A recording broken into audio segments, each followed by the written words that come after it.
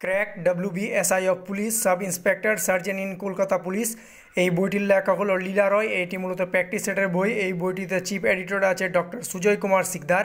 ইনি ডাব্লিউবিসিএসের এক্সিকিউটিভ পদে আছেন। বইটি মূলত ব্রাইট একাডেমির বই। এই বইটিতে এমসিকিউর পাশাপাশি ডিটেলস বেসড অ্যাড করা আছে। বইটির দাম হচ্ছে তিনশো টাকা।